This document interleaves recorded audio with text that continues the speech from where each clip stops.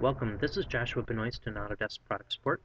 So we're on video 14 where we're talking about beveled takeoffs and how they look different between 2008 and the newer versions. Here's a quick problem statement. Pause the video if you need to, to read that.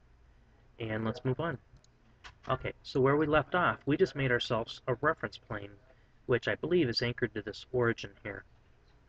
Um, now what we need to do come back here to reference planes and say add another plane. This one's going to be an offset from that. And we'll, we'll call this offset 1. Say OK. Select reference plane. We're going to choose our reference plane. Select offset from work plane. And I'm just going to arbitrarily choose a distance here. Boom.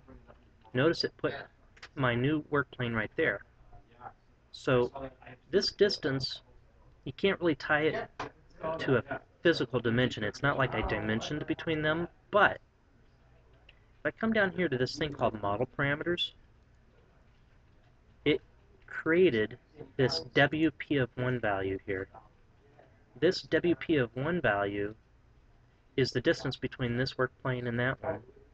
And I want to set it equal to this length A1. So guess what? I can come down here and say Edit, click on WP of 1, click on Calculator, click on Variable, and say, what was that, length A1? Um, I think that's right.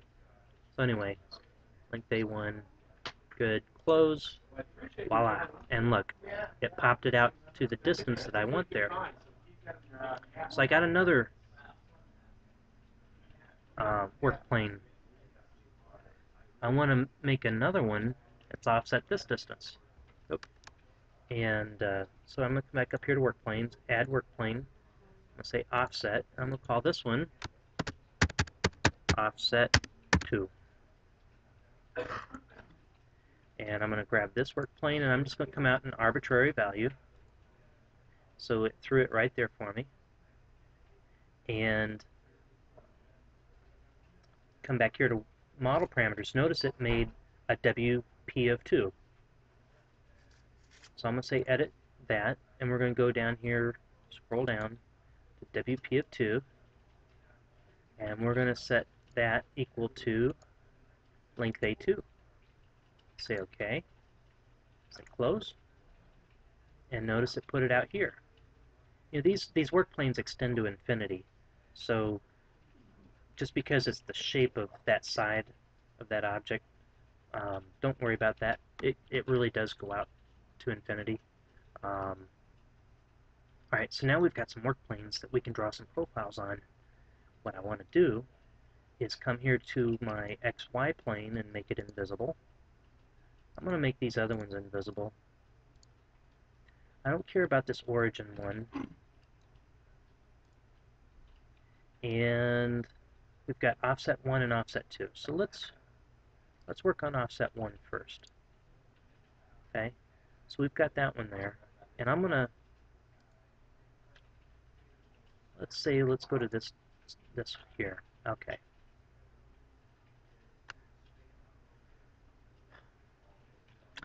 We need a point now on this work plane. With this point right here, it exists on the XY work plane, but it does not exist on this work plane yet.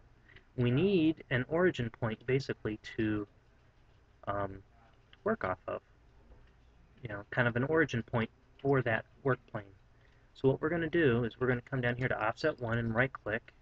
We're going to say Add Geometry. And we're going to say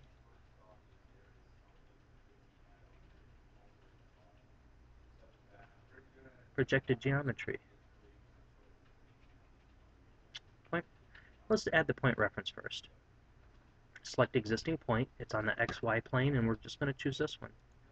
Okay, so notice it added a green one there, which is our reference point for this work plane. Um, and notice it added it down here. But I really want this rectangular profile on that work plane. So that point may have been mute, like a mute point. We may not have needed it. We're going to say add geometry.